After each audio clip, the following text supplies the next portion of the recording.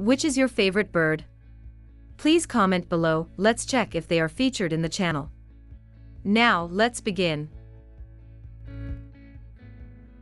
The wood stork is a large American wading bird in the family Ciconiidae. It is found in subtropical and tropical habitats in the Americas, including the Caribbean.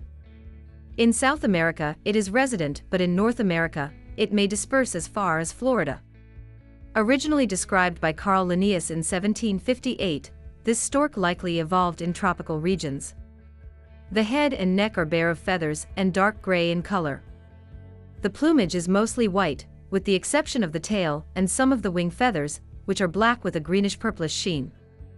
The juvenile differs from the adult, with the former having a feathered head and a yellow bill, compared to the black adult bill. There is little sexual dimorphism. The wood stork's habitat can vary, but it must have a tropical or subtropical climate with fluctuating water levels. The 1 meter diameter nest is found in trees, especially mangroves and those of the genus Taxodium, usually surrounded by water or over water. The wood stork nests colonially. The nest itself is made from sticks and greenery. During the breeding season, which is initiated when the water levels decline, and can occur any time between November and August, a single clutch of 3 to 5 eggs is laid. These are incubated for around 30 days, and the chicks hatch underdeveloped or altricial, requiring support from their parents. They fledge 60 to 65 days after hatching, although only about 31% of nests fledge a chick in any given year, with most chicks dying during their first two weeks, despite being watched by an adult during that time. The chicks are fed fish of increasing size.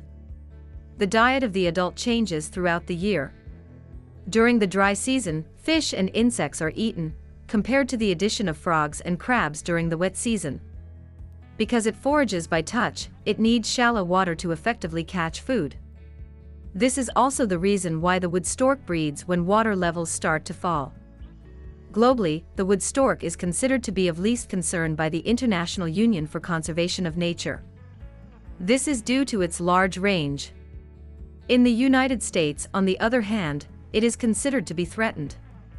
Predators of the wood stork include raccoons, crested caracaras, which prey on eggs, and other birds of prey, which feed on eggs and chicks.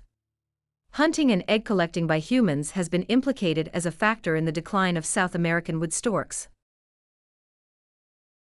May I hope to see you soon. Take care of yourself. Bye for now.